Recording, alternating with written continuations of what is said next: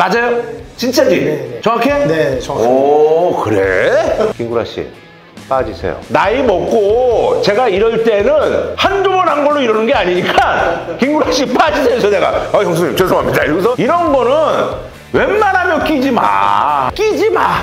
되는 게 없어. 새로운 게스트들한테 셀카 한 번 찍자고 이거 한 번 하고 내가 그렇게까지 하고 싶지는 않다라는 거예요. 아, 내가 몇 번을 얘기해도 모르나?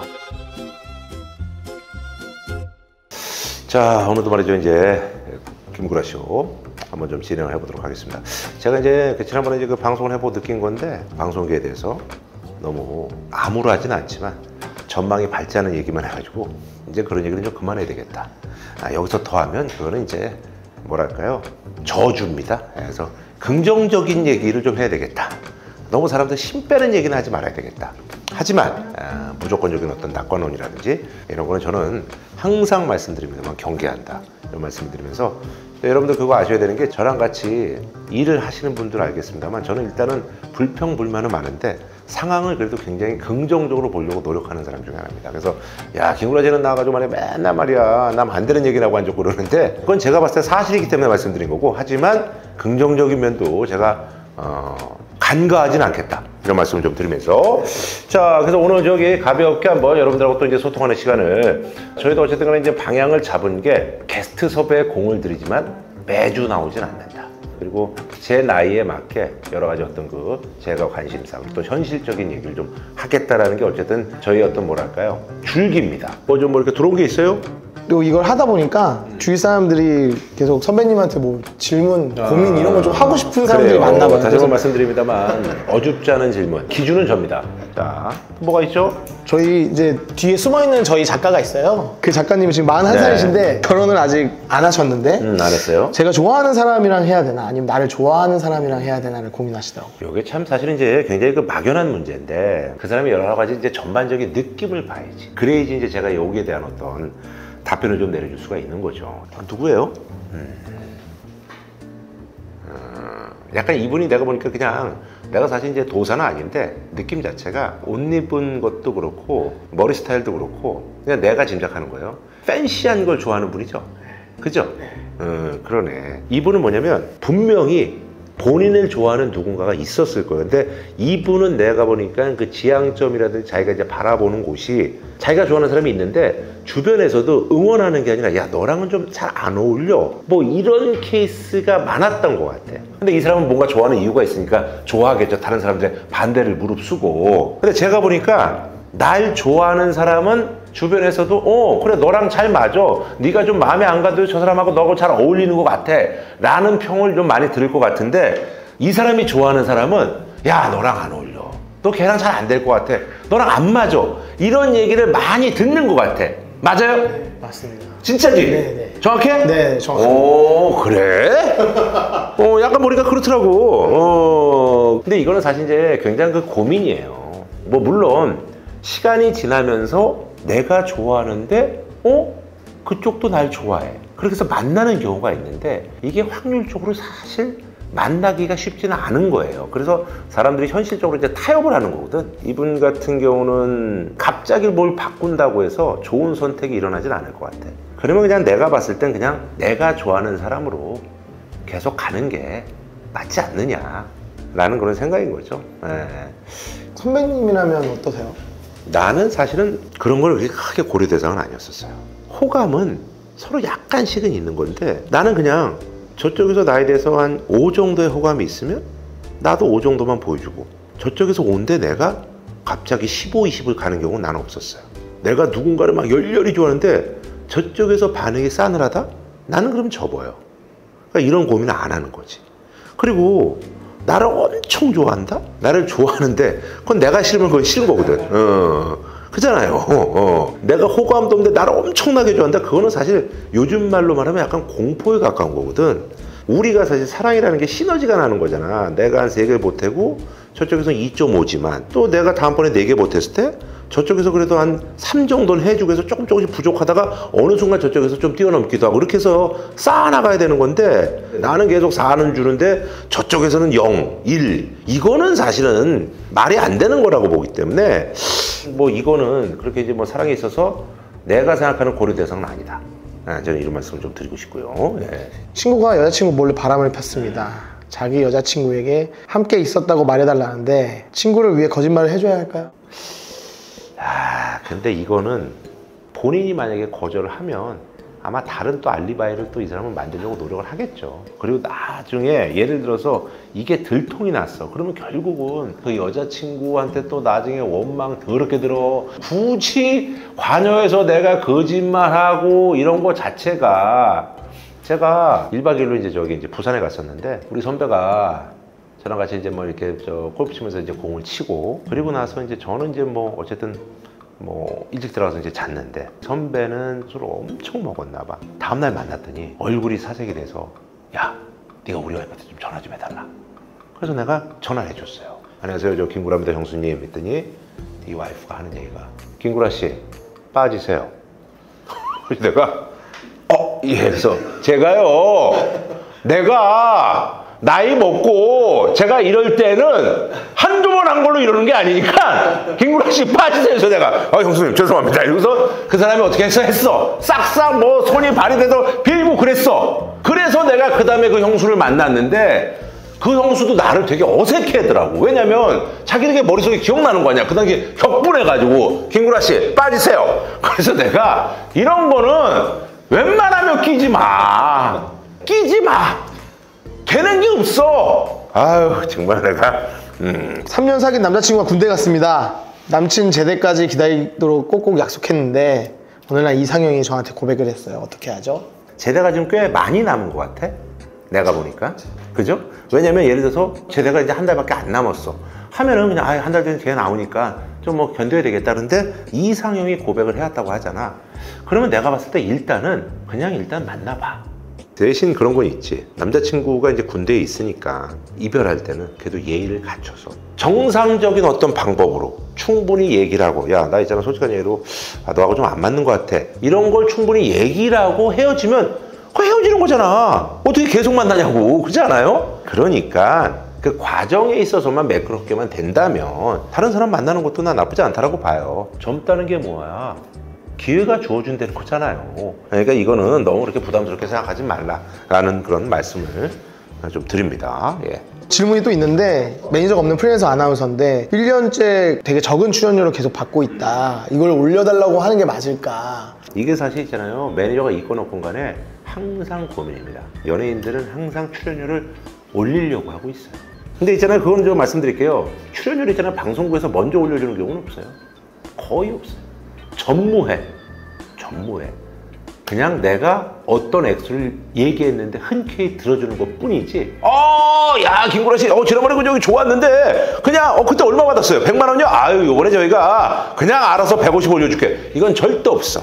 그냥 내가 잘 나가면 눈치껏 해서, 아, 저기 나 요즘 저 괜찮은데 150조 이러면, 아, 예, 이거지. 먼저 올려주는 경우는 절대 없어요. 그러니까 올려달라고 하는 건 맞는데, 다만, 요즘 업황이 좋지 않다. 집안 분위기 봐가면서 얘기한다고. 사실 요즘 다 어렵다 어렵다고 그러는데 여기서 올려달라는 거는 사실은 약간 물색 없는 사람이 될 수가 있다.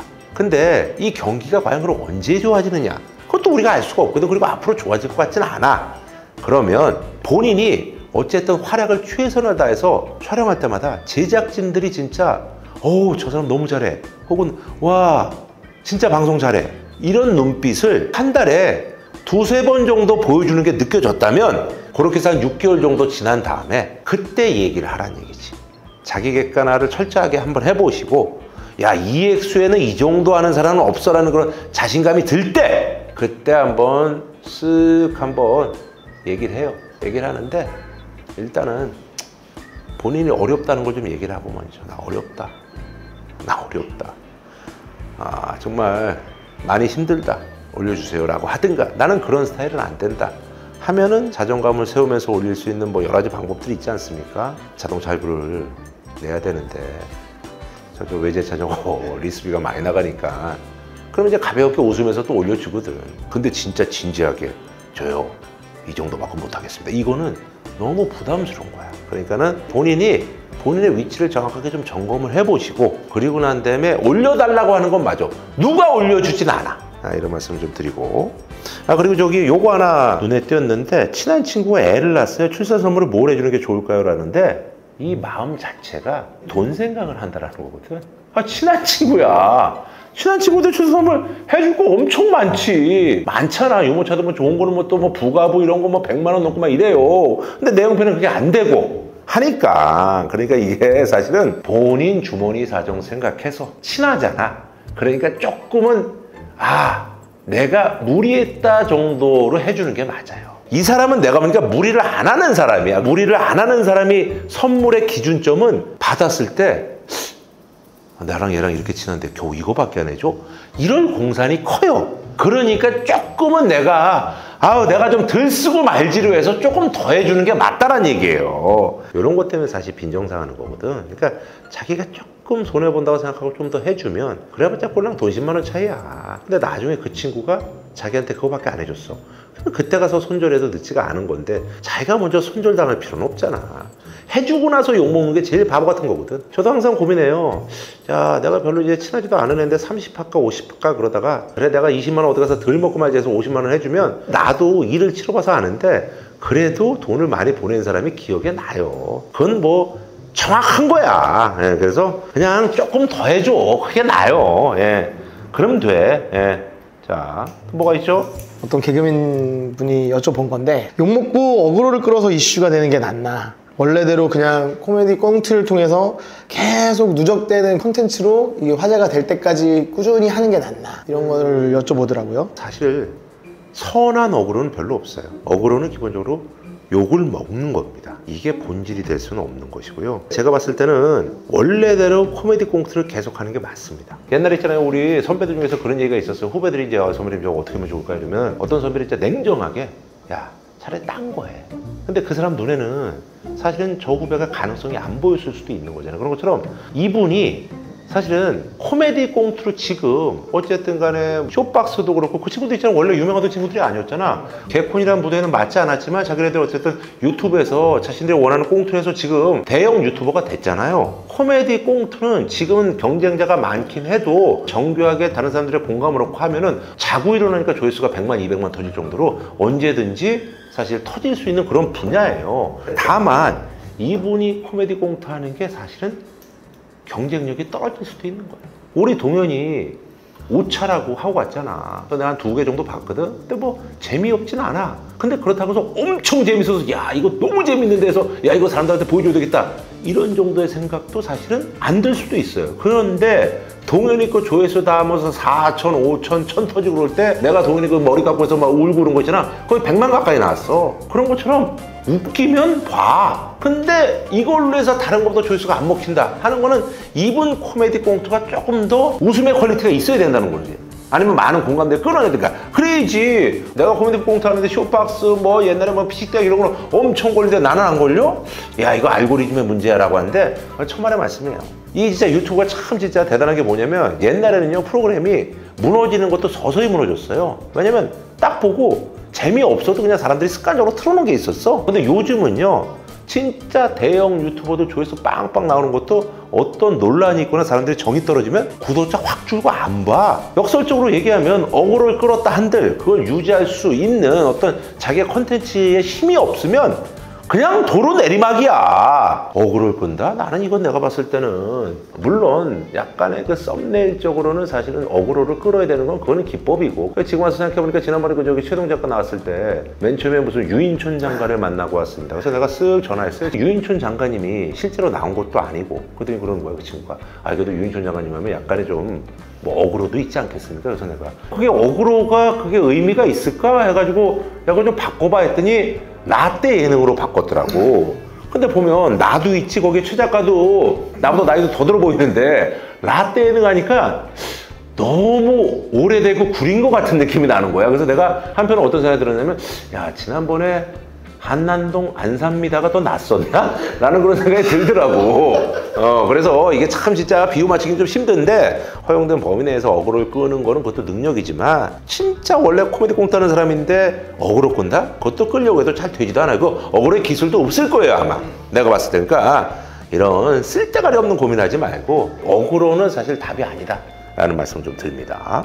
저희도 이제 썸네일 잘 뽑아가지고 어, 라떼 예능은 좀 감각적이어야 되지 않을까 하는 그런 생각이 좀 드네. 어. 뭐 이거는 PD의 고민이라고 써있긴 하지만 뭐 저도 고민되는 건데 김구라 쇼가 지금 잘 나가는 짠한형이나 핑계고 이런 것들처럼 조회수가 좀 잘 나오게 하려면 근데 저는 사실 이런 말씀 드리는데 핑계고도요 우리랑 형식은 똑같아요 다만 여기 재석이가 있고 옆에 남창이라도 있고 지석진 형이라도 있고 뭐 이러니까 나는 최대형이를 만나는데 그쪽은 예를 들면 뭐 이동욱을 만나고 이동희를 만나고 형식은 똑같아요. 결국 누가 어떤 얘기를 하냐의 싸움인데 지금 상황에서는 아, 그게 안 되는 거 아닙니까? 할 수 있지. 근데 나도 너무 피곤하고 자기네들도 너무 피곤한 거 아니야. 그지 않겠어? 내가 이런 걸 했으려면은 라디오스타 한 17년 정도 했는데 매번 끝날 때마다 새로운 게스트들한테 셀카 한 번 찍자고 이거 한 번 하고 전화번호 받고 너무 즐거웠어요. 나중에 밥 한 번 먹어 해서 실제로 만나기도 하고서 그렇게 해서 인맥 관리를 하고 그리고 난 다음에 이게 쌓여서 마침근데 유튜브를 해. 이건 되지만 아니 내가 후한 무치하게 생판 연락도 없는 사람한테 전화해가지고 유튜브에 나와달라? 아이 이거는 사실은 그거는 나는 미친놈이라고 보는 거고. 그리고 나는 사실 그렇게까지 프로그램을 하고 싶지는 않다. 왜? 내가 이게 생계고 그래도 그러면 나는 다른 방향을 모색하겠다. 차라리 내가 덜 벌고 덜 쓰고 말지. 내가 그렇게까지 하고 싶지는 않다라는 거예요. 아 내가 몇 번을 얘기해도 모르나? 안 그러냐고. 거기 짠한 형은요 저는 신동엽이야말로 진정한 슈퍼스타라고 봅니다. 저는 무명을 10년 있었는데 걔는 데뷔할 때부터 스타였어 걔는 32년, 3년은 스타였다고. 그러니 얼마나 인맥이 넓겠어요. 그리고 성향적으로 걔는 온화해. 나는 온화해 보이지도 않아. 그리고 섭외력에 있어서는 대한민국 top of top이에요. 근데 거기랑 여길 비교한다? 그건 말이 안 되는 거지. 그거는 공상이고 망상인 거야. 대신 내가 그러면 이렇게 왜 승부 없는 싸움처럼 보이는 걸 하느냐? 내가 그래도 신동엽이나 유재석이보다 잘하는 게 있잖아. 이런 쪽으로 내가 top 아니야. 그리고 걔들이 잘한다 한들 걔들은 이런 얘기 하고 싶어 하진 않아. 그잖아요. 그러니까 내가 이걸 하겠다는 겁니다. 그리고 이게 반응이 없냐? 반응도 조금 조금씩 있어. 그럼 우리는 이걸로 가는 게 맞는 거지. 왜 자꾸 이쪽을 보고 있으면서 실끝 일끝 나는 이 사람하고 결혼했는데 왜 자꾸 이쪽에 여인이 걸어간다고 해서 자꾸 이쪽을 쳐다보고 있냐고. 그건 잘못된 거지. 그렇지 않아요? 예, 그러니까는 그냥 우리는 이 길로 가야 되는 겁니다. 예, 이쪽에 아무리 뭐 휘황찬란한 진짜 무슨 진짜 영화 배우 대단한 사람이 있다고 한들 우린 쳐다보지 않고 그렇게 가야 되는 게 맞는 거죠. 예. 자 이렇게 해서 이제 뭐 이렇게 했고 다음번에도 또 이런 시간을 한번 예, 가져보도록 하겠습니다. 어, 좀 연락하셨어요? 지금 2주, 3주 때 됐는데. 동현이한테? 네. 지금 2주 지났는데 연락이 왔어요. 그래서 야, 근데 있잖아 제가 이런 말씀 드리는 건데 동현이가 나한테 이렇게 자주 전화한 적이 있었을까 싶을 정도로 평상시에는 전화를 더럽게 안 하다가 야, 그래도 오히려 군대 가니까 전화를 더 하더라고. 아빠 이제 진짜 전화하지 마. 나 진짜 정신 없어. 너무 연락이 많이 와요. 진짜.